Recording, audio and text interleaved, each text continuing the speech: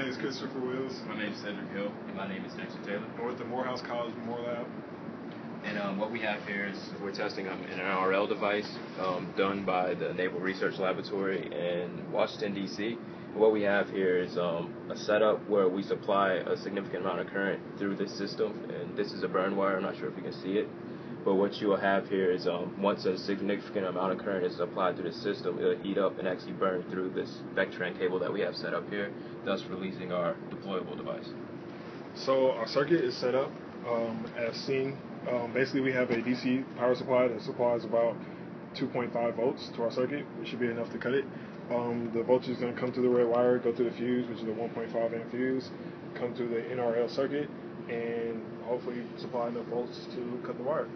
So now we'll go ahead and test the um, experiment. It said you can go ahead and run that.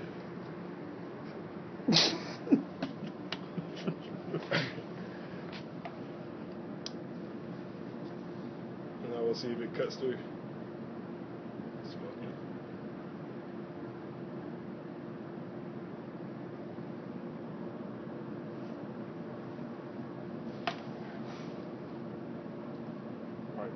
Make noise when it cuts.